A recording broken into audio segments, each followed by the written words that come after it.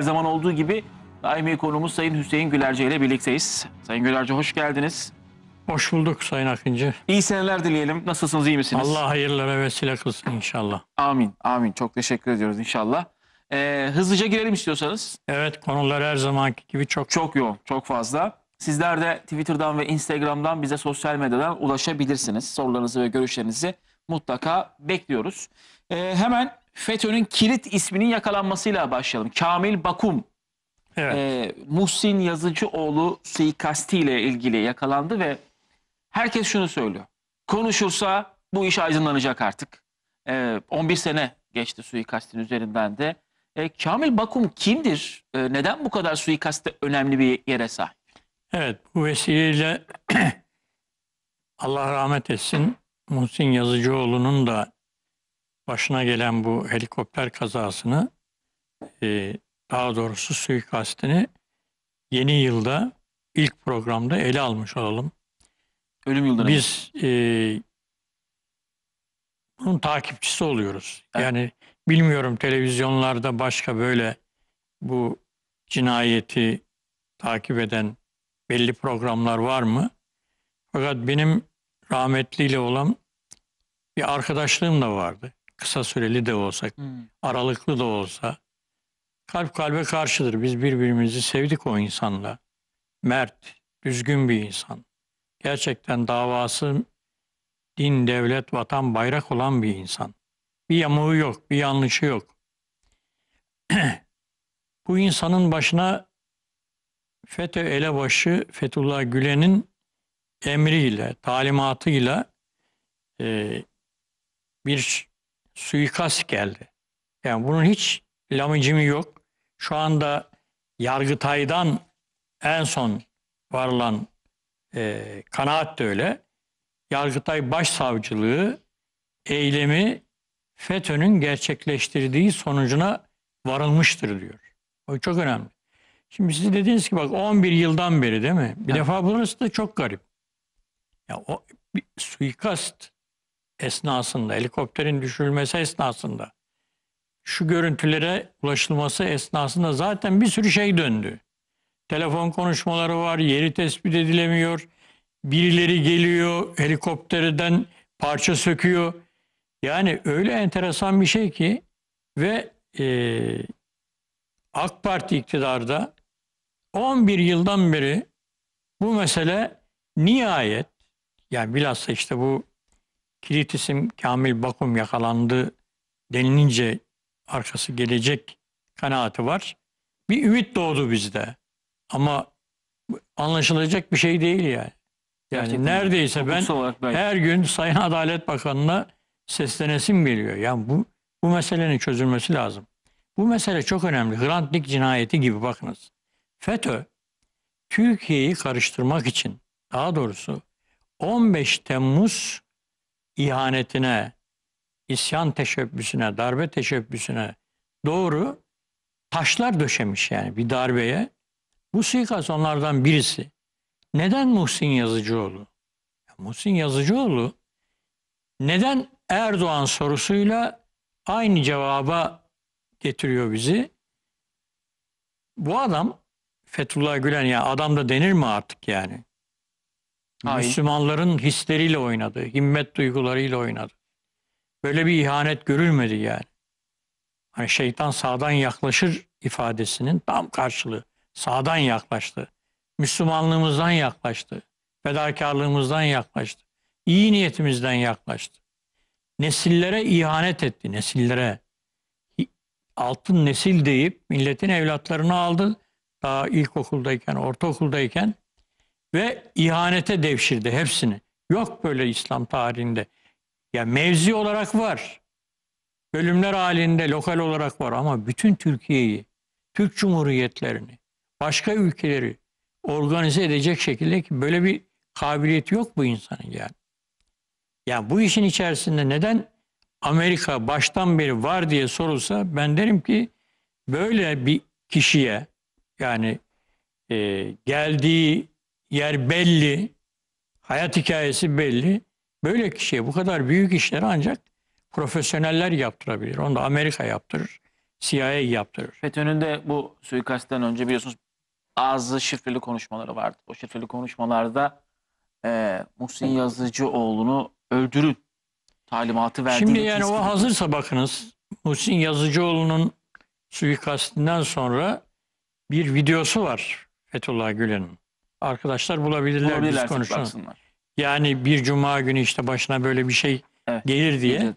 Şimdi artık Yargıtay e, başsavcılığı da eylemi FETÖ'nün gerçekleştirdiği sonucuna varılmış diyorsa o video şimdi o konuşma daha da bir Doğru. önemli hale geldi. yer alanlar 15 Temmuz'da da yer aldı. Evet. Şimdi fotoğrafını görüyorsunuz. Bu e, Kamil Bakum kim? Bu FETÖ'nün avukatlardan sorumlu Muharrem imamı. Avukatlardan sorumlu. Hı. Ve Muhsin Yazıcıoğlu'nun düştüğü helikopterden çıkan cihazları söken iki astsubayın avukatlığını yapan avukatı yönlendiren kişi. Şimdi bunlar nerede açık veriyorlar? Ee, şimdi bu Kamil Bakum Mustafa Atalar'ı yönlendiriyor. Mustafa avukat, Mustafa Atalar ne yapıyor? Helikopterden cihazları söken iki astsubayın avukatlığını üstleniyor. Avukatın da avukatı. Evet. Şimdi eee, nereden eee, panikliyorlar? Kamil Bakım'la ilgili şu bilgiyi de vereyim. Ankara Beypazarı imamlığından geliyor. 2005-2011 yıllar arasında Muş il imamlığı yapıyor. Sonra da eee, Gaziantep bölge imamlığına geliyor. Ve 2015-2016 yıllarında da Güneydoğu mahrem imamlığına geliyor. Yani çok kilit bir isim bakınız. Şimdi onunla beraber tabii e, gaybubet evinde yakalandı. Bu da çok önemli. Yani hala bakınız. Hala hala. Altını çizmek lazım. Bu da ilginç. FETÖ'ye bizi acındırmak için FETÖ'cülere işte Bankasyan'ın önünden geçti de bunları içeri aldılar da falandı. Ya hala bu iş o kadar organize devam ediyor ki bu e, Kamil Bakum asıl e, FETÖ'nün Gaziantep avukatlar sorumlusu ya e, konuşursa Yazıcıoğlu suikastı çözülür denilen 6 kişiden birisi. Yargıtay 5. Dairesi savcılığı tarafından hazırlanan mütalalarda en önemli tanık Abdullah Önder ve bunun ismini verdiği FETÖ'cülerin hepsi baylok kullanıcısı çıktı. Yani FETÖ ile irtibatı var mı? Demin dedim ki neden Erdoğan'ı öldürmeye kalktılar 15 Temmuz'da? Neden Muhsin Yazıcıoğlu. Yazıcıoğlu'nu katlettiler, şehit ettiler. Çünkü bu Fethullah Gülen onu söylüyordum. Kendisinin Mehdi olduğuna inanmış.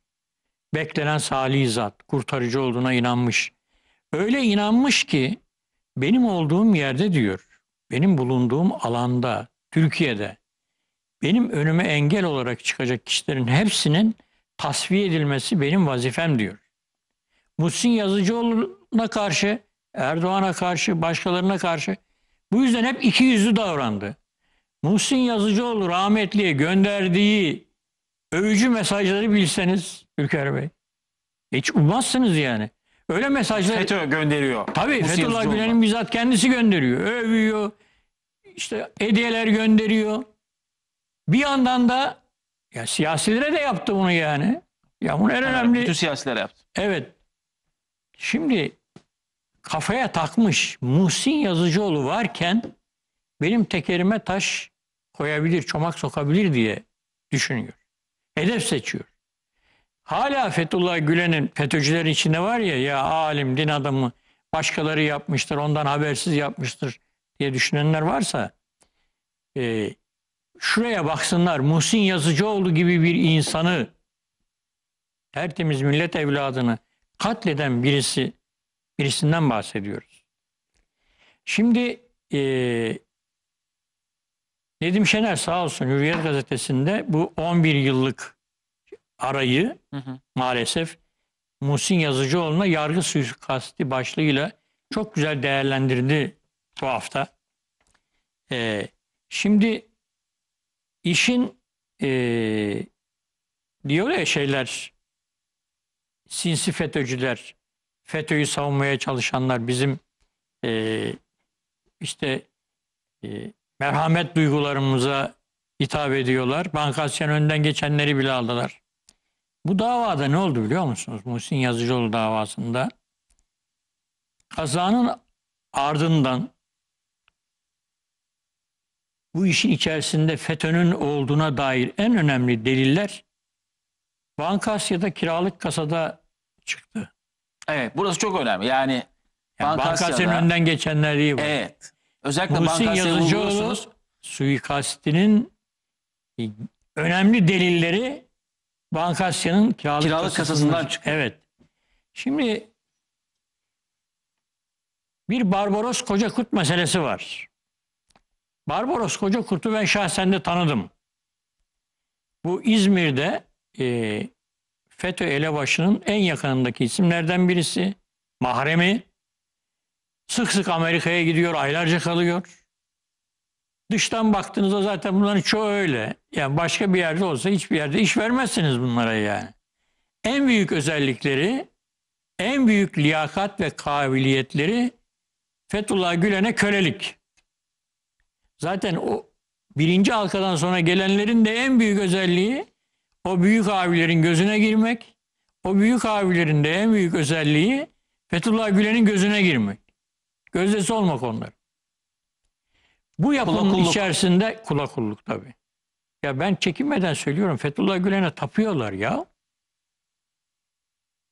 Yani tövbe aşağı bu benim şahsi kanaatim. Allah'tan korkmuyorlar Fethullah Gülen'den korkuyorlar. Çünkü Allah'tan korksalar Çok helikopterle sivillere yukarıdan bomba atabilirler mi? Tabii. Savaş uçağıyla bomba atabilir mi? Allah'tan korkan birisi. O hadise çok büyük bir hadise bak. Geçen bir il emniyet müdürü söyledi değil mi? Benim kırıldığım an neresi dedi? Özel harekat merkezinin Ankara'da Gölbaşı'nda savaş uçağıyla bombalanması. Trabzon Emniyet Müdürü Alper Metin. Heh, bit, ben orada bittim dedi ya. Bu böyle böyle bir şey olabilir mi yani? İnsanımızın FETÖ'nün elinde insanlıktan nasıl çıktığına dair üzerine giydirilen ihanet üniformasıyla neler yapabildiğine dair çok çarpıcı bir örnekti o. Evet. Şimdi bu Barbaros Kocakurt'la ilgili e, enteresan bir şey oluyor. Bunlar e, panikliyorlar. Nasıl panikliyorlar? Şimdi helikopterden parçaları söktüler ya delil bırakmamak için iki tane az subay. Bak şeyden önce geliyorlar ha. Yani enkazı bulanlardan önce geliyorlar. Tabii, tabii, tabii. Hatta o sırada gazeteciyle İsmail Güneş. rahmetli Muhsin Yazıcıoğlu'nun sağ olduğu söyleniyor. Bunlar geliyorlar öldürüyorlar. Delil bırakmıyorlar. O sırada arama Şahit- kurtarma ekipleri başka tarafa yönlendiriliyor. Tabii. Ya tam bir kumpas. Tamam, her şey. 11 yıldan çözülemeyişine isyanım ondan benim ya. Bu kadar açık artık ortada şeyler var. Milim milim milim giden bir şey var. Kayseri'de yani. bile aranıyor. Evet. İşte o kadar karışıyor yani. O düştüğü bölgeye bir türlü arama kurtarma ekibi yönlendirilmiyor. Şimdi ne oluyor? Bu FETÖ'nün Elazığ İl İmamı o sırada Mehmet Durakoğlu var. Ona bağlı çalışan bu Önder'den bahsettik ya en önemli e, tanık, Hı hı. en önemli gelişmeyi de sağladı. FETÖ'nün Elazığ İl Avukatlar Sorumlusu Abdullah Önder. Bak bu ismi aklımıza tutalım. Muhsin Yazıcıoğlu suikastinde kritik gelişme, en önemli gelişme FETÖ'nün Elazığ İl Avukatlar Sorumlusu Abdullah Önder'in 8 Mayıs 2018'de bak kaza 2009'da oluyor değil mi? Evet. 2018'de geldik. 9 sene sonra bir kişi çıkıyor konuşuyor. 8 Mayıs 2018'de Kahramanmaraş Savcılığına 6 sayfalık bir ifade veriyor. Şunu söylüyor. Bu tabi il imamına bağlı çalışıyor. FETÖ'cü avukat Mustafa Atalar'ın düşen helikopterden elektronik cihazları söken FETÖ'cü askerler Davut Uçum ile Aydın Özsıcak'ın savunmasını üstlendiği ortaya çıkınca bu örgütte büyük paniğe yol açtı diyor. Şimdi tabii iki tane helikoptere gidip cihaz söken asubay var. Bunları kim savunacak? Başkasına başkasına avukat olarak göndermezler. En güvendikleri adamları gönderiyor. Ama sonradan bu ifadeyle bu avukatın FETÖ'cü olduğu ortaya çıkınca vay be deniyor ve çok zor durumda kalıyorlar. Yani e, hemen Elazığ İl İmamı İzmir'de işte bu Barbaros Kocakurt'a gidiyor. Çünkü Fethullah Gülen'e hemen ulaşacak bir isim Hı hı. Barbaros Kocakurt. Ve o da hemen Pensilvanya'ya FETÖ elebaşı Fethullah Gülen'e aktarıyor. Tabii e, bu şeyi de unutmayalım. Şeyleri söken e, Kara kutulara. söken bu uçum ve öz sıcak assubaylar sayın seyirciler bakın burası da çok önemli. Helikopterden cihazları söken bu iki assubay 15 Temmuz darbesinde Cumhurbaşkanı Erdoğan'a yönelik Marmaris'teki saldırıyı gerçekleştiren ekibin içinde yer alıyorlar. Yani FETÖ'yle bağlantısının kralı bu. Evet. 2009'da Muhsin Yazıcıoğlu'nu öldürmek için oraya gidiyorlar. 2016'da da Cumhurbaşkanı Erdoğan'a suikast düzenlemek için yine oradalar. Tam bir FETÖ oyunu. FETÖ'nün maşaları yine iş başında. Şimdi e, bir dava daha yürüyor biliyorsunuz. E, 9 üst düzey kamu görevlisi hakkında da Yargıtay'da bir dava var. İşte burada mesela e, Yazıcıoğlu ailesinin avukatlarından Selami Ekici'nin dediği çok önemli. E, Muhsin Yazıcı olayının bu aşamadan sonra çözüleceğine olan inancımız, hukuka olan inancımız artmıştır diyor.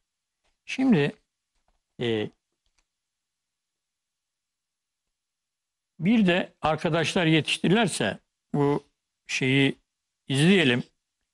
E, Fethullah Gülen'in e, Yetişince arkadaşlar bize haber edecekler. ve- verecekler. Hı hı, Peki. haber edecekler. Şimdi MİT tırları davası ile ilgili Gerekçeli kararı açıklandı. gerekçeli karar açıklandı. Bu haftanın ikinci FETÖ ile ilgili Gelişmesi. önemli gelişmesi de bu.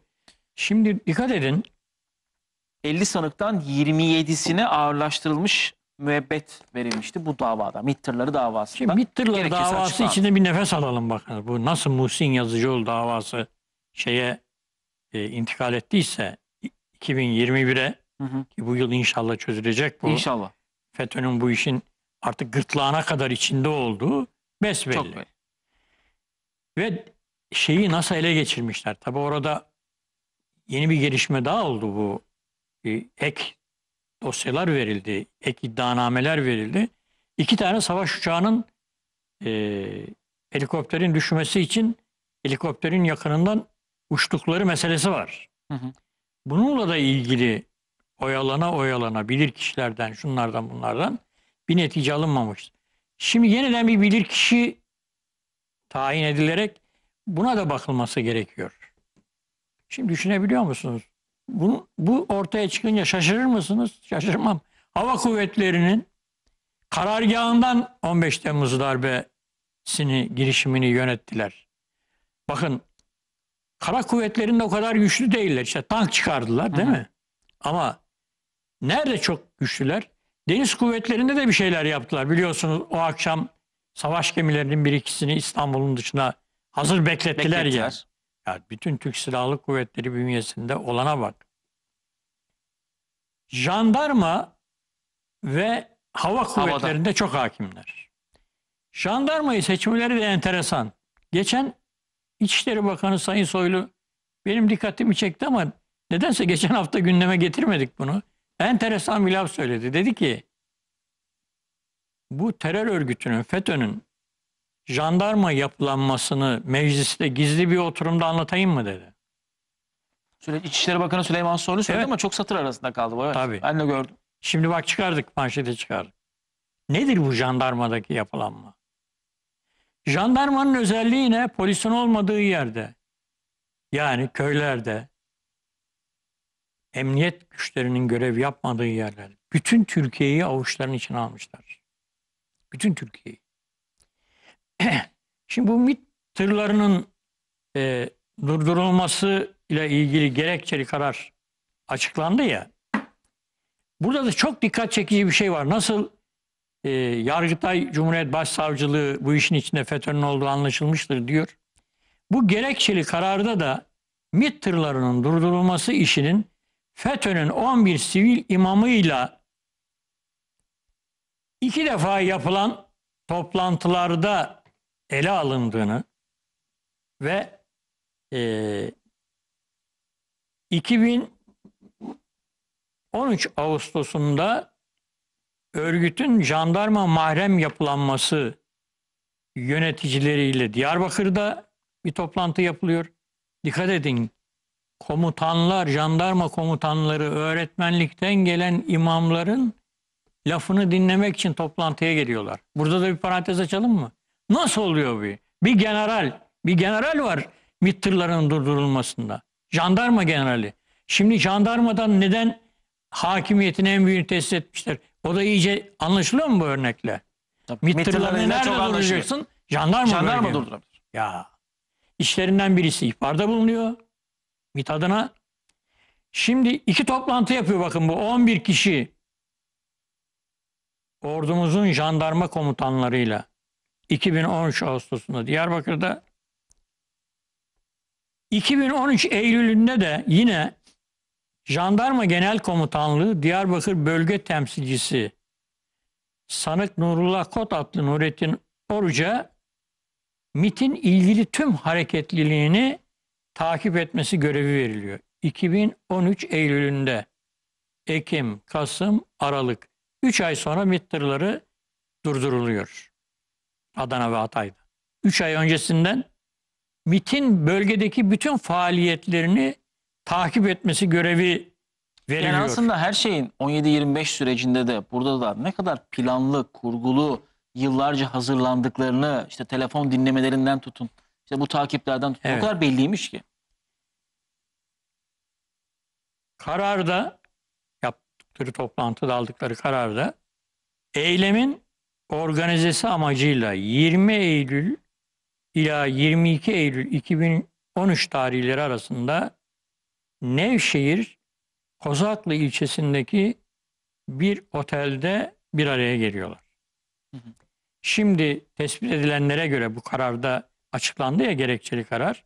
Toplantıya isim isim sayılıyor. Şunlar şunlar şunlar katıldı deniyor. Evet. Bu eylem için tabii ayrı ayrı operasyonel hatlar kullanıyorlar. Şimdi unuttuğumuz için hatırlatma babında söylüyorum. Ya hocam diyorsun ki jandarma vardı bu işin içerisinde. Yargı elemanları vardı. Hatırlatır mısın?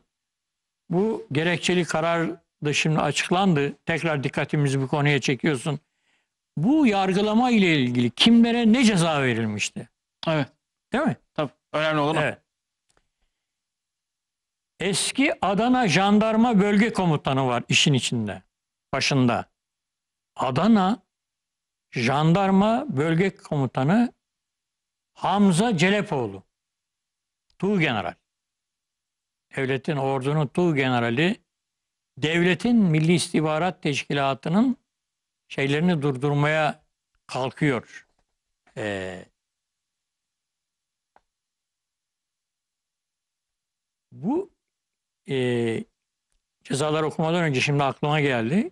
Muhsin Yazıcıoğlu suikastıyla e, şeyi e, MİT'lerin durdurulması meselesini şöyle bir ortak çerçeveye alabiliriz. Rahmetlinin şehit edilmesi, herkese gözdağı verme, bilhassa Sayın Cumhurbaşkanı'na işte 15 Temmuz gecesi öldürülmeye kalkıldı. Hı hı. Ama MİT tırların yani şeyi e, çerçeveyi başına e, Erdoğan'ın bitirilmesi diye, Cumhurbaşkanı Erdoğan'ın bitirilmesi diye yazabiliriz. Bu MİT tırlarının durdurulması ihaneti de yine Cumhur, Cumhurbaşkanı Erdoğansız Türkiye'yi hazırlamak için çünkü bu MİT tırlarının bir de e, devamında e, hadiseler var. Nedir o? Cumhuriyet Gazetesi'nin manşeti Cumhuriyet Can Gazetesi'nin Dündar. manşeti. Nedir? Cumhuriyet bunu manşete yapıyor seçimlerden önce değil mi? 29 Mayıs'ta yapıyor. Haziran, Haziran seçiminden bir hafta seçimlerinden önce. Mus şey Kılıçdaroğlu Zaman Gazetesi'ni ziyaret ediyor. Muhtemelen orada diyoruz kaset e, bu görüntüler izletildi. O manşetten çok kısa süre önce evet, gidiyor bir Kılıçdaroğlu. hafta önce Evet. veriliyor. Hatta Kılıçdaroğlu diyor ki ben gördüm görüntüleri diyor ama diyor Yüzü maskeli, maskeli. maskeli adamlar getirdi diyor. Bu da bir skandal. Muhsin Yazıcıoğlu 11 yılda cinayeti çözülemedi ya. Bütün çabaları Muhsin Yazıcıoğlu'nu Erdoğan öldürttü dedirtmek için. Burası çok önemli. Hmm. Bu cinayeti Muhsin Yazıcıoğlu cinayetini, suikastini Erdoğan'ın üzerine yıkacaklardı. Kumpas oydu. Ya 11 yılda nasıl çözülmez bir mesele ya?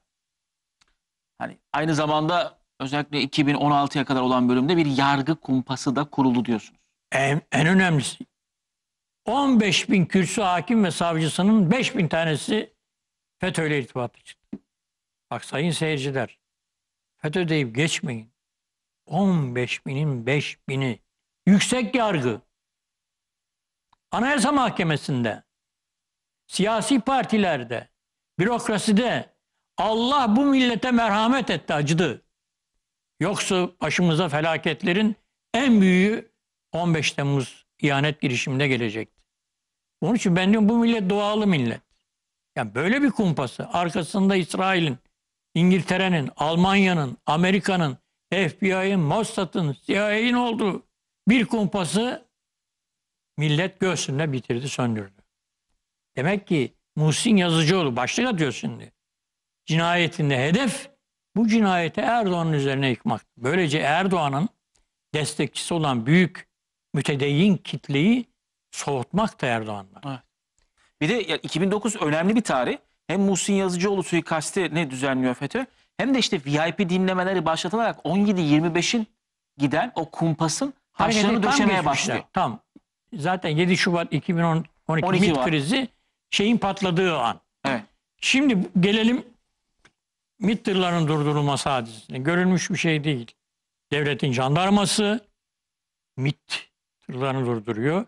Arkadan bu seçimlerden önce bir daha 2014'teki hadise 2017 seçimlerinde mi? 2018. 15. Haziran 2015 seçim- 7 Haziran 2015. seçimlerinde. Bir sene sonra unutulmuş gündemde yokken gündeme getiriliyor. Sırf AK Parti'ye darbe olsun diye. Ve orada IŞİD'le bir bağlantı kurmaya çalışıyor. İşte onu izah ediyoruz şimdi. Niye MİT tırlarında silah var, MİT tırlarında silah var diye bunlar ortalığı ayağa kaldırıyorlar FETÖ ile CHP? Dışarıya jurnalliyorlar Türkiye'yi. Erdoğan'ı. Diyorlar ki bakmayın siz Erdoğan'ın terörle mücadele ediyoruz demesine. Teröristlere silah gönderiyor. İşte Milli İstihbarat Teşkilatı'nın tırlarında yakalandı silahlar. Cumhurbaşkanı'nın Lahey'de yargılatmanın Uluslararası Ceza peşinde Mahkemesi'ne bunlar büyük ihanetler. Şimdi iyice bu ihanetin çapını gösterdikten sonra okuyoruz. Hı hı. Adana Jandarma o zaman bölge komutanı olan Tuğgeneral Hamza Celepoğlu ağırlaş eee, söyleyeyim ama istiyorsanız. Evet. Ona verilen ceza e, ağırlaştırılmış müebbet hapis cezası. evet. Süleyman Gürbüz ve Mehmet Cevher var. Bunlar 30'ar der yıl ceza alıyorlar. Hı hı. Ee, yani 27 sa- sanık da bir yıl 10 ay ile e, değişen hapis cezalarına çarptırılıyor. E, gelelim bu davanın Yargıtay 16. Ceza Dairesi'nde görülen kısmına bir de orada görülen var. E, işin içerisinde Adana Cumhuriyet Başsavcısı da var. Adana Jandarma Bölge Komutanı var. Adana Cumhuriyet Başsavcısı Süleyman Bahri Yanık da var. Buna da 22 yıl ceza veriliyor. Ha geldi şimdi şey. E, Tuğ General Hamza Çelepoğlu'nun detaylı cezası. Çelepoğlu'na devletin gizli kalması gereken belgelerini temin etme suçundan 4 yıl 2 ay, bu belgeleri açıklama suçundan 5 yıl 10 ay, FETÖ üyeliğinden de 10 yıl olmak üzere 20 yıl hapis cezası veriliyor. Jandarma bölge komutanına en fazla ceza nereden veriliyor? FETÖ üyeliğinden. Eski Adana Başsavcı Vekili Ahmet Karaca, Adana'nın Başsavcı Vekili de işin içinde 18 yıl 9 ay. Eski özel yetkili Adana Savcısı Aziz Tak 26 yıl.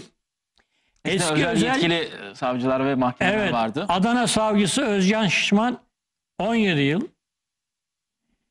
Mahkeme yetince eski Adana İl Jandarma Komutanı Kurmay Albay Özkan Çokaya bu belgeleri açıklamadan 6 yıl 8 ay, FETÖ üyeliğinden 8 yıl 9 ay olmak üzere 20 yıl 5 ay hapis cezası veriliyor. Ne acı. Ee, reklama gidelim mi yoksa? Gidelim bir önemli şey daha var. Onu da Tamam. reklamdan sonra toparlayıp Tamam. anlatalım. Bu arada arkadaşlar reklam arasında FETÖ'nün bu Evet. videosunu da bulurlar. Hazırlıyorlar. Evet. Gidebiliriz Ya reklam. öyle mi? Ha, tamam. tabii. Son ekleyeceğiniz bir şey var zannettim Yok yok o yok. yüzden. Hayır. Tamam o zaman reklamlardan sonra artık çok konuşulan bu haftanın en önemli gündem maddesi başörtüsü olayına geçeceğiz. Çünkü CHP'li Fikri Sağlar öyle skandal sözler söyledi ki tepki göstermemek elde değil ve üst üste gelen önce Ekrem İmamoğlu'nun İstanbul Büyükşehir Belediyesi'nde okunan Türkçe Kur'an-ı Kerim arkasından bu CHP yeniden eski ayarlarına geri mi dönüyor şeklinde sorulara yol açtı. Hepsini reklamlardan sonra enine boyuna konuşacağız. Sözcü gazetesinde. Sözcü gazetesini de unutmayalım. Unutmayalım. Ayasofya Sözcü'nün rahatsızlığı. o skandal manşetini de Evet. konuşacağız. Devam ediyoruz reklamlardan sonra ortak akıla. Şimdi tam Muhsin Yazıcıoğlu suikastini konuştuk. FETÖ bazı gizli kapaklı konuşmalarla aslında mesajı vermişti. Ona dair o FETÖ'nün konuşmalarını bir hatırlayalım arkasından devam edelim. Konuşmasının devamında bir cuma Evet. günü değil mi? Aslında o vardı. evet. Aslında o var evet. Şimdi e, bu FETÖ meselesine bu hafta biraz daha derinlemesine girdik.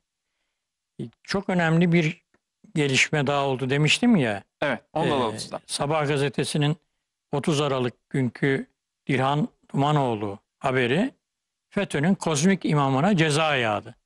Kimmiş bu kozmik imam?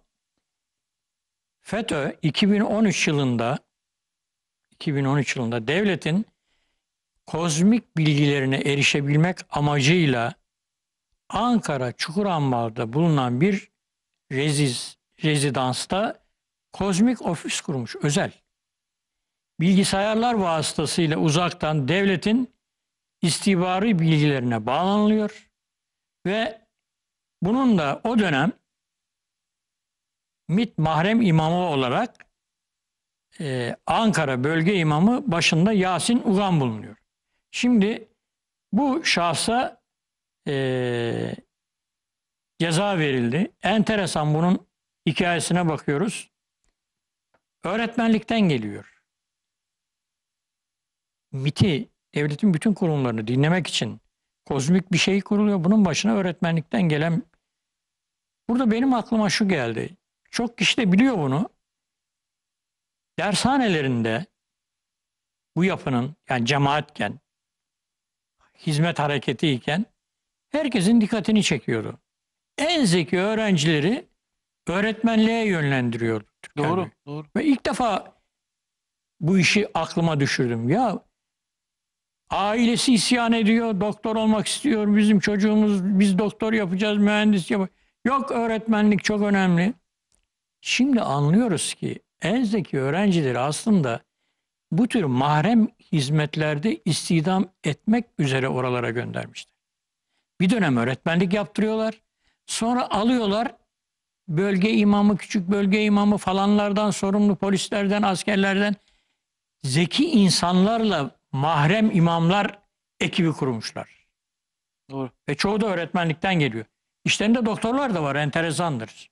Başka meslekten olanlar da var. Askeriyeye de çok yönlendirme Evet. yapıyorlardı eskiden. Şimdi bu Yasin Ulan Ankara 34. Ağır Ceza Mahkemesi'nde yargılanarak 39 yıl 10 ay hapis cezasına çarptırılmış. Yardımcıları da eee, Bilal Zencirci 18 yıl, Recep Karakaya 9 yıl. Şimdi bu 30 Aralık'ın haberi Hı hı. sabahta.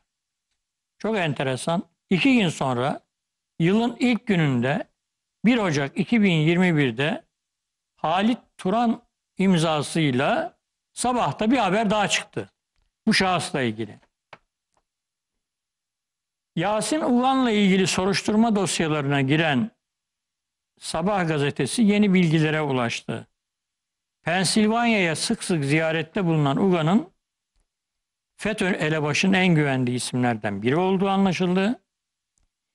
Dikkat! 2014 yılı seçimlerinde HDP'yi desteklemeleri yönünde talimatlar vermiş bulunduğu yerde bu Ugan. Ve bu kozmik büroyu kurdular ya MİT'ten, devlet organlarından, askerden, her yerden bilgi alıyorlar ya. Bu Ugan ne yapıyor bu bilgileri? Ne yapıyormuş? bütün Türkiye'deki il imamlarına gönderiyor. Evet. Herkese ondan talep ediyorlar. Şu şahıs hakkında bize bilgi toplar mısınız? O şahıs hakkında. Bu şekilde çalışmışlar. Evet. Ama ne yapmış bu? PKK'ya da çalışmış. Burası çok önemli. Önemli bilgi ve belgeleri örgüt yöneticilerine verdiği sızdırılan bu bilgiler neticesinde Güneydoğu'da görev yapan çok sayıda polis, asker ve korucunun şehit edildiği belirlendi. Hainlik her boyutta. Her yerde. Hepsinde var. Bir daha FETÖ'ye merhamet damarlarımızı kimse bizim tahrik etmesin. Etmesin. FETÖ dosyasını şimdilik kapatalım. Önümüzdeki haftalarda yine konuşmaya devam edeceğiz ama geçelim haftanın en önemli olayına. CHP'li Fikri Sağlar'ın başörtülere yönelik nefret söylemine e, haftaya damgasını vuran sözleri ve Fikri Sağlar'ın ağzından dinleyelim. Ardından konuşalım. Fikri Sağlar'ın bu sözleri Sayın Gülerce tabii yeniden e, CHP'de başörtüsü düşmanlığı hortladı mı? Eski fabrika ayarlarına geri mi döndü CHP diye insanın aklına geliyor. Yıl 2021 ama bu tartışma hala bitmiyor Sayın Gülerce. Neden? Aslında tartışma yok. Yani zaman tüleninde kalmış faşist bir kafadan çıkan şeyler bunlar. Bu. Şimdi bu tartışmada şöyle bir gelişme oldu. Sayın Cumhurbaşkanı'nın bir tepkisi var. Hı hı. İzleyelim isterseniz. İzleyelim. Ondan sonra Kılıçdaroğlu'nun lafları var. Ee, şeyin tekrar bir açıklaması var. Fikri Sağlar'ın. Bunların hepsini bir arada değerlendirelim istersen. Tamam. Cumhurbaşkanı Erdoğan'ın tabii Fikri Sağlar'a çok sert tepkisi vardı. Cuma namazı sonrası Ayasofya'da konuştu. Bakın neler söyledi Cumhurbaşkanı. Cumhurbaşkanı Erdoğan açıklamaları da böyle e, Kılıçdaroğlu'na çok sert tepki gösterdi tabii. Sayın Gülerci. Şimdi eee, Sayın Cumhurbaşkanı'nın bu vitrinlik lafından çok alındılar. Hı hı. Hatta özür dile falan diye de Kılıçdaroğlu konuşuyor. Bir versenize ekrana arkadaşlar o fotoğrafı. vitrinlik olmadığını eee, göstermek için elimizde bir video var şimdi. Arkadaşlar göstersinler. Şimdi ekrana gelecek. Bir ne diyor burada Kılıçdaroğlu? Sonunda ilkokulda başörtüsü de olacak. Döndük yine ilk noktaya. Çağdaşlık ödülü alındı. Kafa yine aynı kafa. 11-11-2010 tarihinde bunu atmış. Silmeyi unutmuş herhalde. Sayın Evet. Kılıçdaroğlu bunu. Bir yani Kılıçdaroğlu'nun e, asıl bu konudaki zihniyeti ne? İkincisi yanında başörtülü iki bayan oluyor ama herkes kask takarken Verin o başına fotoğrafı. evet Gelecek şimdi.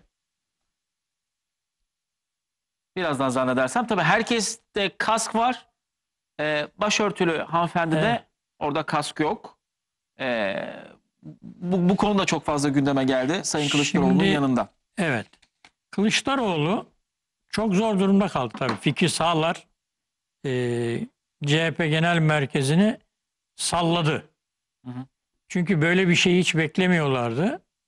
E, hatta şimdi ben sabah baktım e, eskiden bu başörtüsünü çok savunan isimler iki gündür yazmıyorlar. Demek yazı günleri değil. Bugün yazmışlar. Bir tanesi diyor ki AK Parti bu meseleyi çok büyüttü diyor.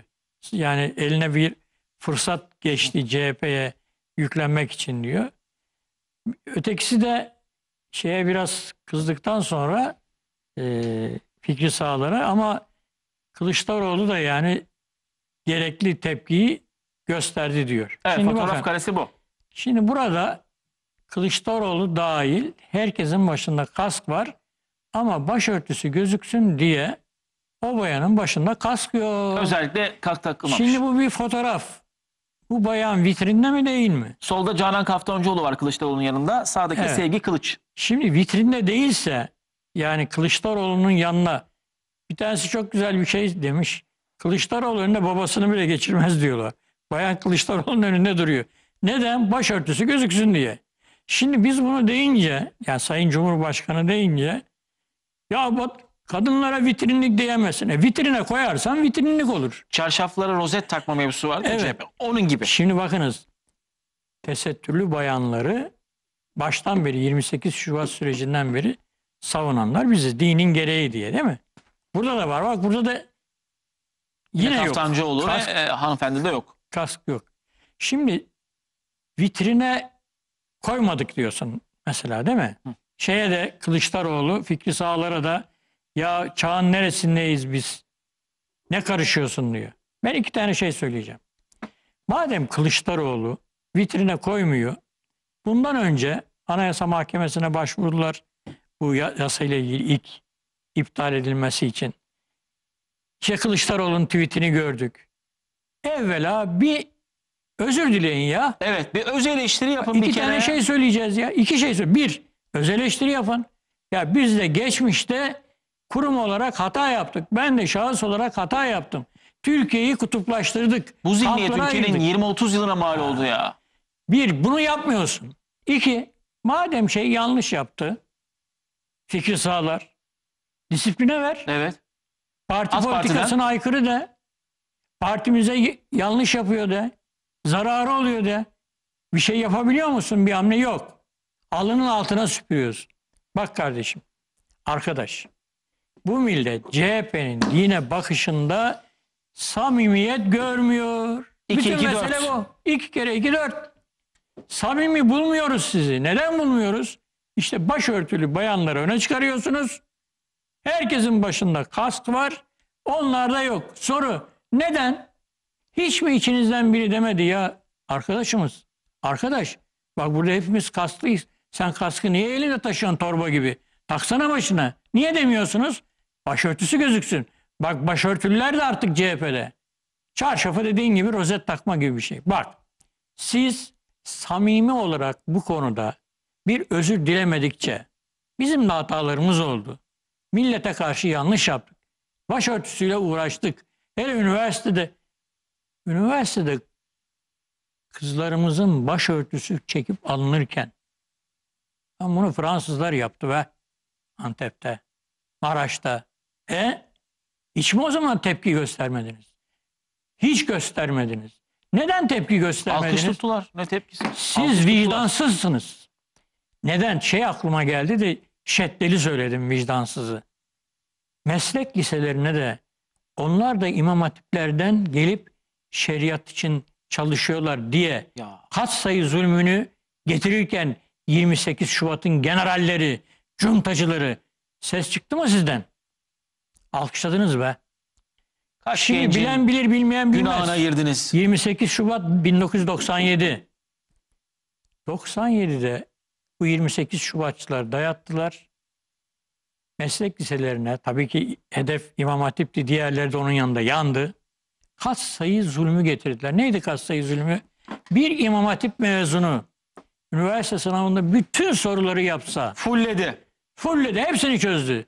Ne tıbba girebilir, ne Boğaziçi'ye, ne İstanbul Hukuk'a girebilir. Niye?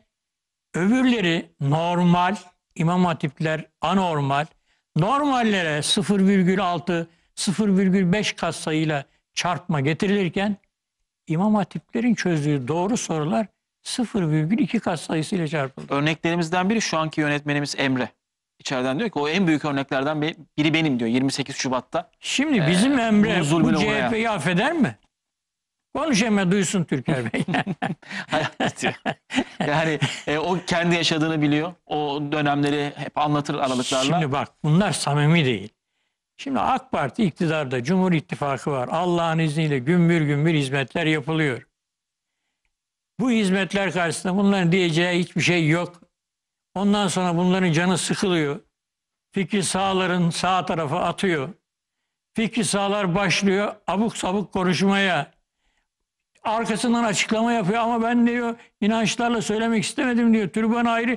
Gene aynı şeyi yine aynı söylüyor. şey, yine aynı mevzu. Yıllarca buna tepinildi Ya zaten. ben buna cevap vermeyi bile yersiz buluyorum ya. Ya kadınlar Türban siyasi simge midir değil midir diye bu ülkede 30 yılını aldınız ya, ya. kadınlar giyimine özen gösteriyorlar. Erkekler gibi gidip ceketi giyiyorsun çıkıyorsun dışarı. Hanımlar öyle değil ki. Başörtüsünü takacak tamam. Eskiden geleneksel bir başörtüsü var. Buradan bağlıyordun. E şimdi bu işin modelleri çıkmış.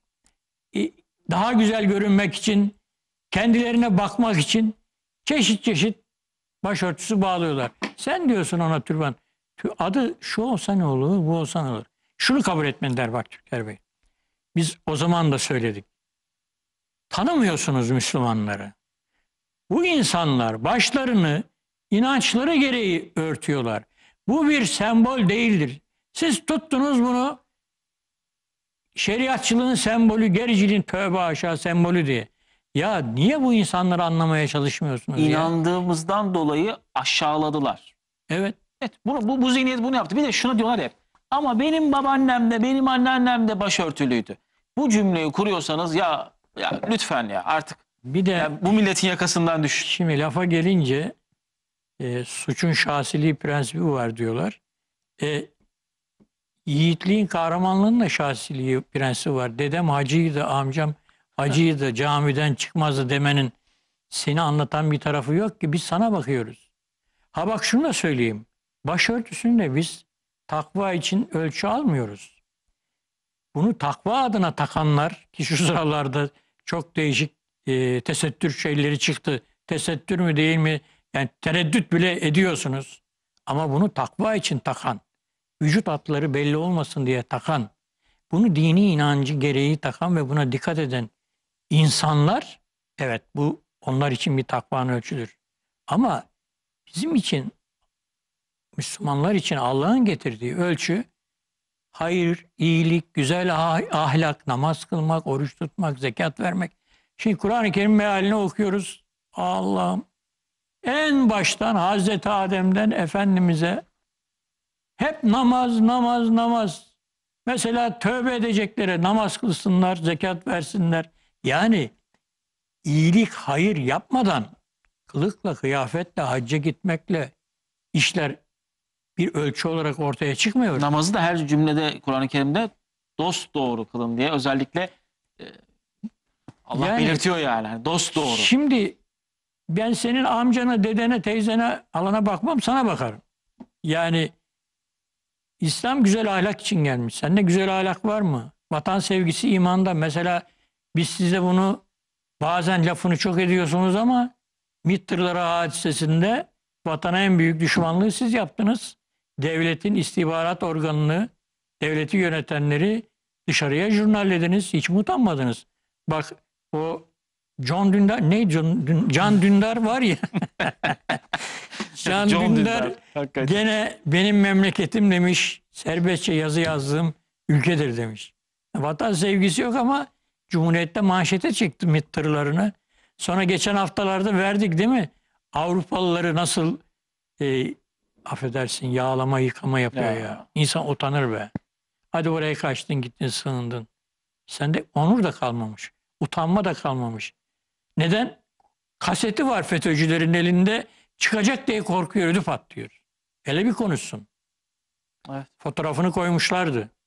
Evet. Burada Sevgi Kılıç da tabii e, Fikri Sağlar'a da keşke bir şey söyleseymiş aynı partide. Yani onu da not Şimdi- olarak düşelim yani. Bakın bunun bir kandırmacı olduğu şuradan belli. Bir iki kişiyi alıyorlar. Şimdi saysanız bunlardan kaç kişi var?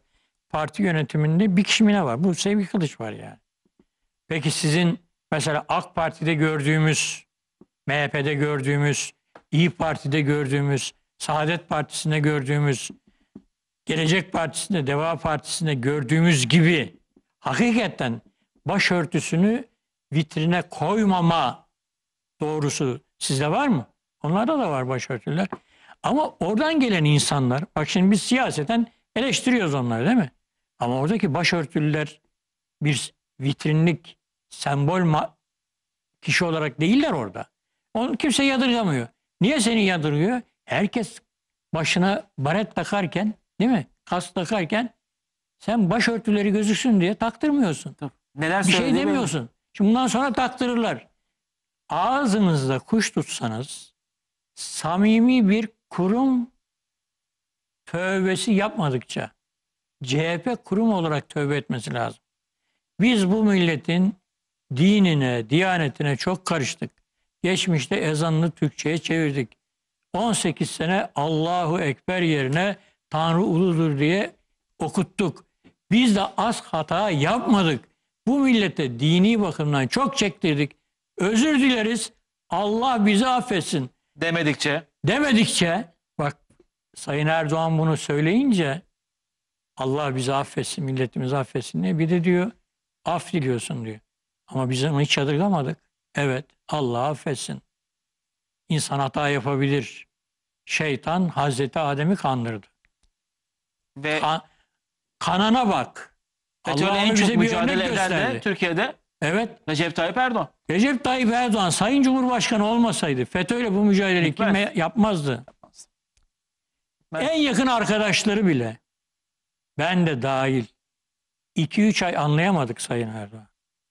Ancak 25 Aralık'tan sonra biz de tam anlayabildik. O zaman gözümüz açıldı. Şimdi bunu söyleyince ee, sen de yıllarca beraberdin. Kardeşim ihaneti gördük. Hainlerle mücadele ediyoruz. Bizim lafımız bu. İhaneti gördük. Hainlerle mücadele ediyoruz. Bir de ihaneti görüp kenara çekilmedik. Şimdi benim bazı eski arkadaşlarım diyor ki ya sen de tamam ihaneti gördün ama kenarda otur sesini çıkarma. Anlamadım. Anlamadım. Hem ihanet olduğunu göreceğim hem de mücadele etmeyeceğim. E, hayır ve iyilikte yarış. Kötülüklerle savaş Allah'ın emri emri bir maruf ne yanil münker. Bak da hala çalışıyorlar. O demin konuştuğumuz kozmik mahrem imam var ya yakalandı gaybubet evinde. 950 bin dolar dağıtmış. Hapisten çıkanlara hala hapiste olanların ailelerine. 950 bin dolar. Şimdi burada başörtüsü meselesinde şunu da unutuyoruz yani. Ya kardeşim başörtülü biri bu meclise giremiyordu. Hani Özlem Zengin'in AK Parti'de Özlem Zengin'in bir lafı var ya kadınlara seçilme hakkı daha işte 2010'da oldu diye. Ya başörtülü bir vekil eee, Türkiye Büyük Millet Meclisi'nde bizleri temsil edemiyordu. Ondan sonra bu bunu engelleyen parti kimdi? CHP'ydi. Şimdi bu sözler peş peşe geliyor. Türkçe Kur'an-ı Kerim, başörtüsü olayı. Yani CHP'de İstanbul ve Ankara'da da belediye başkanlarının alınmasıyla birlikte eski tek parti dönemine bir geri dönüş mü var? 40'lı yıllara bir geri dönüş mü var acaba Sayın? Geri dönüş falan yok. Bunların zamerinde bu var Türker Hı. Bey.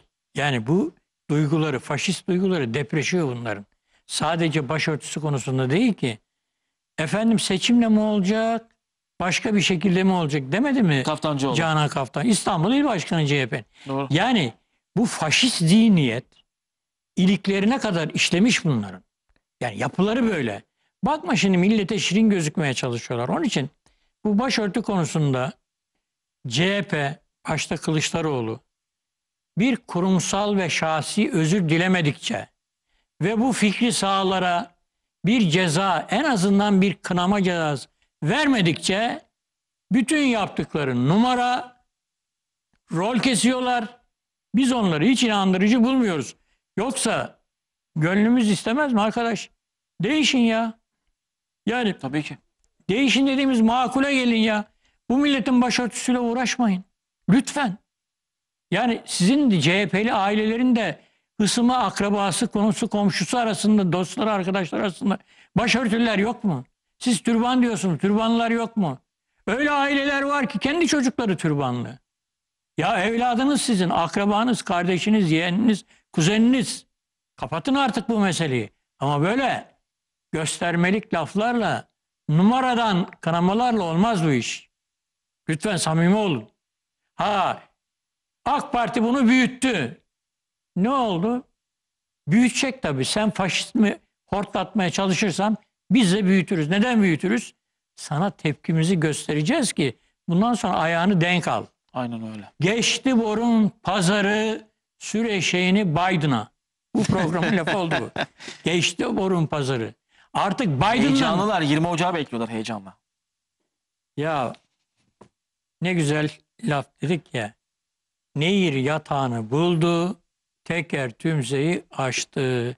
Bir tane Biden değil, bayılmayan 3-4 kişi daha çıksa Avrupa'da Allah'ın izniyle bu millet ayağa kalktı. 15 Temmuz diriliş ruhu var. SİHA'larımız, İHA'larımız var. Milli savaş savunma sanayimiz gelişiyor. Yeni yeni şeyler buluyor. Bak bu aşı konusunu da şimdi mesela 15 saniyede e, Covid-19'u tespit eden Test, şeyler bulmuşlar, PCR. testler çıkıyor. Bu millet Allah'ın izniyle zeki. Bu rahmetli Özal'ı hiç unutmuyorum. Yeter ki doğru yol gösterin diyor. Kesin. Önüne düşün bu milletin. Şimdi düştü işte. Sağ olsun Allah razı olsun. Sayın Recep Tayyip Erdoğan o yürüyor. Millet de arkasından yürüyor. Haset ediyorlar. E yok sizde. Bak sizin lideriniz Kılıçdaroğlu korkuyor aday adayım demeye ya. Şeye soracağız mı diyor. Ortaklarımıza Ortak diyor. Dostlarına. Dostlarına Dostlar. soracak. 4 numarayı arkadaşlar verelim istiyorsanız. Orada e, değil mi? O hazır mı? CHP'nin. Tamam. 4 numarayı bir izleyelim sonra Kaftancıoğlu'na bir tweetini hatırlatacağız. Buyurun. Hazırsa buyurun. Ya CHP'nin yani bu başörtüsü olayına nasıl baktığını belgelerle, sözlerle Şimdi gördünüz. Ne diyoruz bak? Gelin bir özür dileyin. Bu lafları siz ettiniz. Kılıçdaroğlu siz ettiniz. Altı okun önünde CHP yöneticisi bayan etti bu lafları. Şimdi biz o gün yanlış konuştuk diyebiliyor musunuz? Demiyorsanız bugün rol yapıyorsunuz. Yine vitrinlik konuşuyorsunuz. Samimi olarak bakınız tövbe nedir biliyor musunuz? Samimi pişmanlıktır. Öyle laf olsun diye pişmanlığa tövbe denmez. Tövbe işten gelerek pişmanlığınızı söylüyorsunuz. Pişman olun. Ve virgül pişman olmuşsan, tövbe ediyorsan bir daha da yapmayacaksın. Bir daha da başörtüsüyle ilgili ileri geri konuşmayacaksın. Şeriat, gericilik bilmem ne. Zihniyetlerini değiştirmiyorlar. Laflarını değiştiriyorlar. Biz de diyoruz ki inanmıyoruz size ya. Aklımızla alay etmeyin bizim. İşte gerçek kimliğiniz buydu. Biz sizi böyle tanıdık. Ha şimdi diyorsanız ki o eskide kaldı. Bunu siz söyleyeceksiniz ya.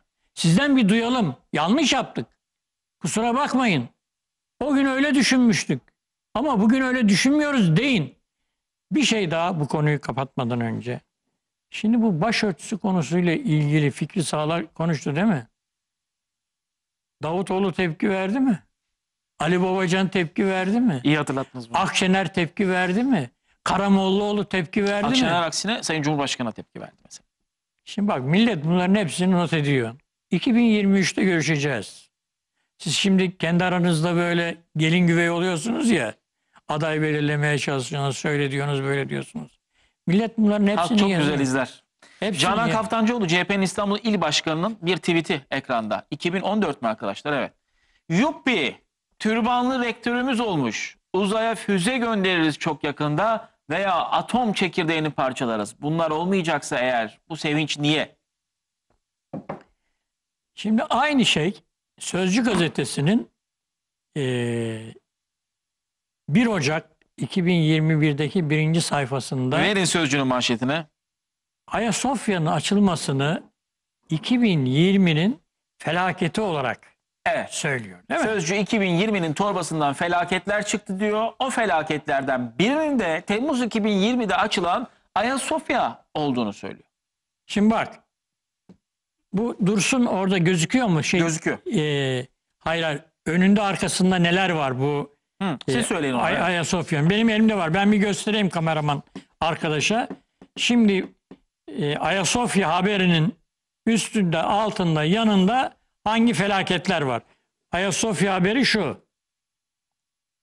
Evet. Şu Ayasofya haberi. Şimdi onun üstü, altı, yanı, sağı, solu ne diye veriyor Sözcü şimdi manşette? 2020'nin torbasından felaket ve gözyaşı çıktı. Bak neymiş onlar? Ocak 2020 deprem. Şubat 2020 çığ felaketi. Mart 2020 korona geldi. Nisan 2020 virüslü hayat. Ekranda şu anda. Evet. Temmuz 2020 Ayasofya açıldı. Bak nelerin arasında veriyor. Sonra Ağustos 2020 sel vurdu. Ekim 2020 çifte deprem. Depremlerin, çığların, sellerin arasında Ayasofya açıldı diyor. Dünya tepki gösterdi diyor cümlenin sonunda da aynı zamanda. Şimdi öyle bir tepki gördü ki sözcü bundan dolayı ertesi gün yani 2 Ocak'ta birinci sayfadan Sözcü gazetesinin eee, genel yayın yönetmeni Metin Yılmaz imzasıyla Sözcü diyor ki diye bir yazı yayınlandı. Cumhurbaşkanı Erdoğan'ın tepkisini görelim çünkü onunla da bağlantılı aslında. Ha güzel tamam. Sayın Cumhurbaşkanı Erdoğan Sözcü gazetesinin bu manşeti için neler söyledi onu da bir dinleyelim. Arkasından sözcü vaziyeti nasıl kurtarmaya çalıştı ama aklımıza alay ederek onu okuyacağım. Onu okuyalım. Ayasofya'nın önünden yine Cumhurbaşkanı Erdoğan seslendi. İşte Cumhurbaşkanı Erdoğan'ın ben Sözcü okumuyorum'a cevabını Sözcü gazetesi verdi ama e, aklımızda alay ederek dediniz. Sizden dinleyelim. Şimdi bak şeyi gösterdik değil mi? Hangi haberlerin arasında Ayasofya'yı da verdiler? Hangi başlıkla verdiler? 2020'nin 20'nin torbasından felaket felaketler çıktı. çıktı. Şimdi ne diyor açıklamada tepkiler gelince? Sözcü gazetesi birinci sayfasında dün 2020'de yaşanan bazı olayları manşet yaptı. Yalan konuşma. Yalan konuşma. Bazı olayları manşet yapmadı. 2020'nin torbasından felaket ve gözyaşı çıktı. Felaketleri manşet yaptınız ya. Şimdi bak nasıl değiştiriyor lafı. 2020'de yaşanan bazı olayları manşet yaptı. Olayları manşet yapmadınız. Felaketleri manşet yaptınız. Daha başlarken yalanla başlıyor. Sonra 2020 torbasından felaket ve gözyaşı çıktığı çıktı başlığıyla verilen haberde yıla damga vuran gelişmeler özetlendi. Yalanın içinde bir yalan daha var. Yani 2020'de yaşanan olayları diyor verdik ve damga vuran gelişmeleri özetledik. Ama başlık öyle demiyor. O zaman aklımızda alay edeceğini deseydin ya 2020'ye damga vuran olaylar. Bakalım hiç kimse sana bir şey diyecek miydi? Kimse bir şey demez. Ha, kaldı ki o şeyi tekrar büyütelim. E, Şeyin altında Ayasofya açıldı haberin altında ne yazıyor? Dünya tepki gösterdi diyor. Bak bak bak bak nasıl yakalandınız. Orayı büyütebiliyor muyuz arkadaşlar? Az öncekini tekrar verin. Hani 2020'ye damga vuran olaylar diye vermişler ya Ayasofya'yı. Peki Ayasofya'yı verdiğinizi. Ayasofya'yı verirken ne yazıyor o çerçevenin içinde? Dünya tepki gösterdi diyor. Dünya tepki Ok- okunuyor mu altında? Altta en az satır. Dünya tepki gösterdi. Felaket. Dünya biz Ayasofya'yı açtık. Dünya tepki gösterdi. 2020'nin felaketi. Bak siz milletin gazetesi değilsiniz. Siz milletten yana gazete değilsiniz. Siz başkalarının sözcüsüsünüz. Başkaları tepki verdi. Siz de onların tepkilerini bize felaket geldi başımıza diye veriyorsunuz. Siz kimin sözcüsüsünüz yahu? Kimsiniz siz? Ayasofya'nın açılmasından rahatsızlık duyan bu milletin evladı değildir. Millet sevindi çünkü. Milletin bütün evlatları prangalar kırıldı dedi ya. Ne felaketi. Felaket sizsiniz. Sizin zihniyetiniz. Devam ediyorum. Aklımızı alay ediyorlar. Biz haberde yıla damga vuran gelişmeleri özetledik. O konulardan biri de Temmuz ayına damgasını vuran Ayasofya'nın ibadete açılmasıydı. Sözcü okurları manşetimizi normal karşılarken yalan. Şimdi sözcü okurlarını önümüze sürüyor. Bazı çevreler farklı yorumlayıp Ayasofya üzerinden olumsuz algı yaratmaya çalıştı. Ya siz geri zekalı mısınız? Bu yaptığınızdan kim farklı bir şey çıkartıyor ya? Basbayağı açık. Başlıkta felaket. İçinde dünya tepki gösterdi. Biz de bunu söyleyince farklı tarafa çekiyormuşuz. Çok kötü köşeye sıkıştınız. Sözcü var ya bu, bu yaptığıyla ikinci bu. Bir de 1 Ocak 2016'da Ya darbeden 6 ay önce ne yaptılar? Öl Recep. Birinci sayfadan. 2016 falanız diyerek Evet. öl Recep yazdılar. Ondan ceza Sayın aldılar. Cumhurbaşkanı'na hakaret ve küfür koydular bulmacaya. Orada orada nasıl aklımızı alay ettiler? O bulmacanın hazırlanmasını bir şirkete vermişler de. O şirket hazırlamış bunu. Bunların da dikkatinden kaçmış. Ya bunlar bir salak zannediyor ya. Çok iyi söylediniz az önce. Bak bir insan kendisi zeka kıtlığı içindeyse başkalarını da kendisi gibi zanneder. Anlamıyor zanneder. Şirkete yaptırmışlar öl Recep'i. Daha orada hakaret de var. Pislik de Var vardı. var küfür var orada. Ceza da yediler ondan dolayı. Şimdi diyorlar ki ya biz burada 2020'nin olaylarını getirdik. Bu arada da e, Ayasofya açıldı onu getirdik. O zaman altına yazmayacaksın dünya tepki gösterdi diye. Millet çok sevindi deseydin biz şimdi bunu konuşmayacaktık. Konuşur olmayacaktık. Sen benden alay mı ediyorsun? Sen kimsin? Bak getirdi arkadaşlar. Helal olsun. Evet 2016, 2016 falında. falınız. Öl Recep. He? Üstünde de küfür var. Küfür var. Sayın Şimdi Cumhurbaşkanı'na küfür bizim var. dediğimiz şey şu bak. Fox TV ile Sözcü gazetesi muhalefet tabanını durmadan besleyen, menfi yönde besleyen AK Parti ve Erdoğan'a Cumhur İttifakı'na karşı kim ve nefretle dolduran iki yayın organı. Bunlar hükümeti Erdoğan'ı eleştirmiyorlar, düşmanlık yapıyorlar. İşte belgesi. Millete düşman olan Erdoğan'a da düşman oluyor. Ayasofya'ya düşman olan Erdoğan'a da düşman oluyor.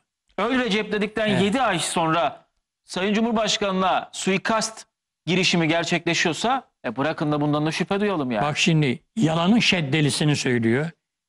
Bizim amacımız Ayasofya'nın ibadete açılmasını eleştirmek değil, yıla damga vuran bir olay olduğunu hatırlatmaktı. O zaman öyleyse altına niye yazmadın? Biz milletin sevindiğini görüyoruz Ayasofya'nın açılmasından. Dünya tepki gösterdi Dünya tepki diyorsun. gösterdi. Tepki Yalancısınız. Evet. Şimdi devam ediyor. Şirkete hazırlatmışlar diye bulmacayı. Hı. Akıllarına gelmiş gene cinlik, uyanıklık. Editoryal hata olarak yorumlanan bu sunumda. Şimdi siz de gazetecilik yapıyorsunuz. Ben de yaptım. Gazetelerde en son hazırlanan bütün yayın sorumlularının en önemlilerinin başında bulunduğu sayfa birinci sayfadır. Birinci sayfanın hazırlanmasında genel yayın yönetmeni, yardımcıları, herkes dikkatlice birinci sayfayı oluştururlar. Editoryal hata mı? Gazetenin namusudur ya birinci sayfa. Ayasofya'nın açılışına felaket demek gibi bir kastımız yoktu diyor. Mızrak çuvala sığmaz. Bu söylediğiniz yalanları da bu millet yutmaz. Sizin kim olduğunuzu biz artık biliyoruz, iyi biliyoruz. Siz Türkiye'de iyi şeylerin düşmanısınız. Milletle beraber sevinmiyorsunuz. Orada da yalan konuşuyorsun. Biz diyorsun milletle beraber seviniriz diyorsun. Bak ne diyor? Terör olaylarında diyor Bak, biz bak. diyor Şöyle bitiriyor Metin Yılmaz Sözcü Gazetesi Genel Yayın Yönetmeni. Sözcü bu toplumun bir parçasıdır. Bizler de milletimizin sevindiğine seviniriz. Millet Ayasofya'nın açılmasına çok sevindi. Siz neden sevinmediniz? Sevinmediniz ya. Yani Ayasofya açıldığında milletin o coşkusunu sevinenler gazetelerine yansıtırken siz yansıtmadınız. O sevinci yansıtma yerine milletin kafasını karıştırmaya kalktınız. Şöyle dediniz, böyle dediniz, esnek dediniz, köstek, köstek dediniz.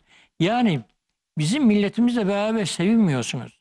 Mesela milletimiz Karadeniz'de doğalgaz bulunuyor, seviniyor. Siz sevinmiyorsunuz. Maalesef. bir şeyler uyduruyorsunuz. Bakalım çıkarabilecek misiniz? Buldunuz, taşıyabilecek misiniz? Evlere dağıtabilecek misiniz? Yuh be!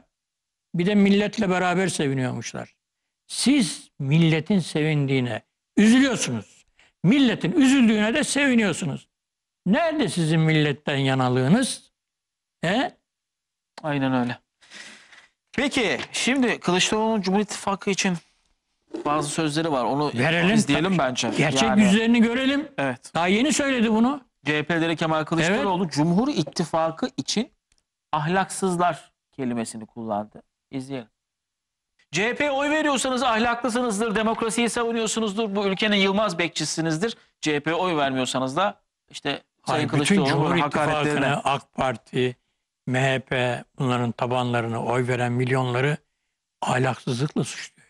İşte gerçek Kılıçdaroğlu budur bakınız. Hani dedik ya faşist zihniyet. Kendisinden olanları insan yerine koyma. Kendisinden olmayanlara ahlaksız deme. Şunu söyleyeyim. Cumhuriyet tarihinde, bak o tek parti dönemi de dahil, millete bu şekilde hareket, hakaret eden bir siyasetçi çıkmamıştır. Bu çok ağır bir laf. Ahlaksız diyor. Evet. Bu ahlaksızlıktır. Kendisinin yaptığı ahlaksızlıktır. Siz toplumun yarıdan fazlasına sizden olmadıkları için ahlaksız diyemezsiniz. Derseniz ahlaksızlık yapmış olursunuz. Ve bu sizin gerçek yüzünüzdür. Gerçek Kılıçdaroğlu budur. Yani bir an kendilerine geliyorlar. O faşist şey var ya iliklerine O kadar damar. O damar bir damar. kabarıyor böyle çıkıyor patlıyor. Şimdi bu dediğinden pişman olmuştur. Ama pişman olması bir şey ifade etmez. Gene hakaret edecek. Öğretmenlere hakaret etti miydi? Etti. Hakimleri- CHP oy vermeyen öğretmenlere hakaret etti. Çok Evet, açık. Ben öğretmem demem dedi ya. Hakaret etti. Yargıçlara hakaret etti. Şimdi Yani bu başörtüsü meselesinde de ne kadar ikiyüzlü olduklarını işte bu sözlerden bile görmeniz yeterli. ben acıyorum, üzülüyorum desem yalan olur. Davutoğlu, Akşener, Karamollaoğlu, Ali Babacan bu Kılıçdaroğlu'nun peşine takılıyorlar ya Erdoğan düşmanlığı yüzünden. Erdoğan düşmanlığı nasıl bir kim ve nefret oluşturmuş içlerinde ya. Ya bu Kılıçdaroğlu'nu, bu fikri sağları, bu Sözcü gazetesini, bu Ayasofya düşmanlığını falan yutkunup yutkunup duruyorlar ya. Ya siz bu yapıyla, bu CHP ile iktidar olsanız Allah korusun bu milleti ya. Siz daha kim bilir nelere ses çıkarmayacaksınız Yani ya. Fikri Sağlar'ın sözüne Sayın Karamollaoğlu'ndan, Sayın Davutoğlu'ndan tek bir söz yok. Ki yani Saadet Partisi'nin geçmişi, Refah Partisi bu iş için ne kadar mücadele vermiştir?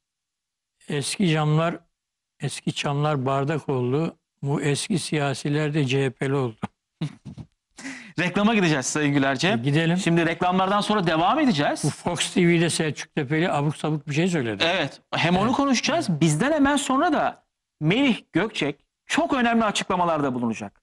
O yüzden bir yerlere ayrılmayın. Reklamlardan sonra devam ediyoruz. Reklamlardan sonra devam ediyoruz. Şimdi Fox haber spikeri Selçuk Tepeli e, siyasilere ağır bir hakarette bulundu. E, bir izleyelim neler söylemiş sonra konuşalım Selçuk Tepeli. Selçuk Tepeli'nin sözleri bu. Getirmiyorlar mı? Şimdi bu arkadaş Fatih Portakal'ı geçti ya. Değiştirsin soyadını mandalina Greyfurt yapsın. Yani siyasilere bu kadar aleni hakaret edilir mi? Sen kimsin? Sen kimsin? Siyasileri siz geri zekalı mısınız diyor. Bir de Sayın Cumhurbaşkanı bir yerde bir şey söyledi de hatırlamıyorum diyor. Şimdi onu hatırlatalım. Evet Sayın Bence Cumhurbaşkanı. programımızın ruhuyla örtüşen bir şey. CHP'deki o zihniyeti anlattık. Evet, Hüsnü Bozkurt değil mi? evet. Hatırlayalım mı? Hatırlayalım. Bak Hüsnü Sayın Bozkurt'un- Cumhurbaşkanı kime demiş Kime geri demiş? zekalı E, mısın? referandumdan önce neler söylediğini bir hatırlayalım. Sonra da Cumhurbaşkanımızın cevabı gelsin. Cumhurbaşkanı da böyle Selçuk cevap vermişti. Tepeli'nin hatırlayamadığı işte sen geri zekalı mısın lafını bu CHP milletvekiline söylüyor. Bu Selçuk Tepeli vesile oldu sağ olsun. Bu hatırladık. Hatırladık. Tekrar. CHP zihniyetini hatırladık. Emperyalistler gibi diyor. Evet çıkarsa diyor denize dökeceğiz. Samsun'dan yola çıkıp diyor İzmir'e kadar Denize dökeceğiz olacağız. diyor. Millet eve, evet çıktı. E, e, evet çıktı. Nerede hani yüzde altmış Bozkurt ya? çıkacak. Neredesin sen? Bak Cumhur İttifakı devam ediyor. He? Millete hizmetler devam ediyor. CHP'nin zihniyetini unutanlar arada bir bu Hüsnü Bozkurt'un CHP milletvekilinin şu videosunu izlesinler. CHP bu. CHP değişmez. CHP takiye partisidir. Samimi değildir.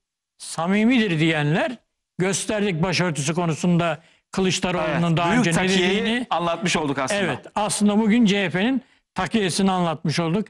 İnanmayın samimi değiller. Samimi olmaları için iki şey teklif ettik Kılıçdaroğlu'na. Bir, özür dileyin milletten hata ettik deyin. İki, Fikri Sağlar'ı CHP Disiplin Kurulu'na sevk edin. Ben sizin samimi olduğunuza inanayım. Peki şimdi programımızın sonuna geldik ama bir hatırlatma. Bizden sadece saniyeler sonra Sayın Melih Gökçek bilgi ve belgelerle çok çarpıcı belgelerle size Ankara Büyükşehir Belediye Başkanı Mansur Yavaş gerçeğini anlatacak. Ee, CHP ve Mansur Yavaş ilişkisinden tutun, Mansur Yavaş FETÖ ilişkisinden tutun hepsini çarpıcı belgelerle ilk kez duyacaksınız. Sadece saniyeler sonra. Sayın Güler'e çok teşekkür ediyoruz.